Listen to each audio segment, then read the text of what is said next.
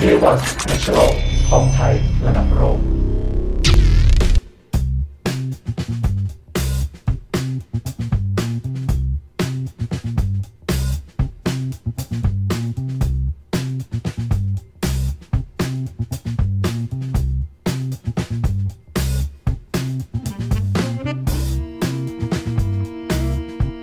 สวัสดีครับ วันนี้ เราอยู่ที่มหาวิทยาลัยกรุงเทพวิทยาเขตลังสิตนะครับ วันนี้ทางบริษัทได้รับเกียรติ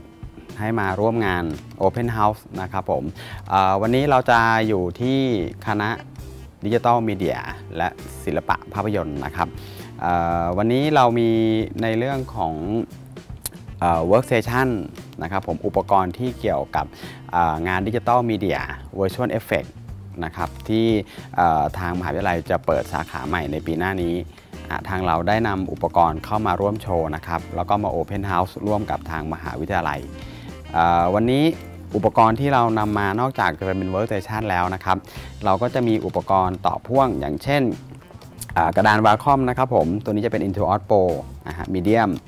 ก็จะมีในเรื่องของมอนิเตอร์นะครับ มีอุปกรณ์ที่เป็นมินิ PC คอมพิวเตอร์ ซึ่งสามารถทำงาน 2D ได้นะครับ แล้วก็อาจจะเป็นงาน digital media เล็กๆน้อยๆครับผมแล้วก็ในเรื่องของเมาส์ 3D นะฮะแล้วที่สำคัญเลยคืองานนี้เราได้นำตัวสเปคนะครับของตัว GPU ที่เป็น Workstation รุ่นใหม่ครับที่จะเปิดตัวเร็วๆนี้นะฮะซึ่งตัวนี้จะเป็น Radeon Pro WX นะครับผมตัวรุ่นก็จะตามนี้ครับผมแล้วก็ในส่วนของรายละเอียดของตัวสินค้า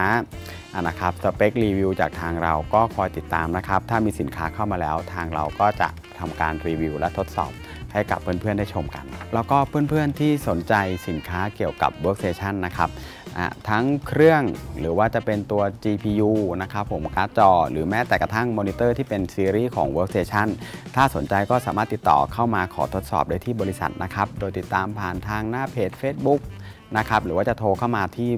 ติดต่อที่ทางบริษัทก็ได้ครับผม สุดท้ายต้องขอขอบคุณทางคณะอาจารย์ครับที่ได้ให้เกียรติทางบริษัทเดวาได้มาร่วมงานในครั้งนี้ครับผม ขอบคุณครับ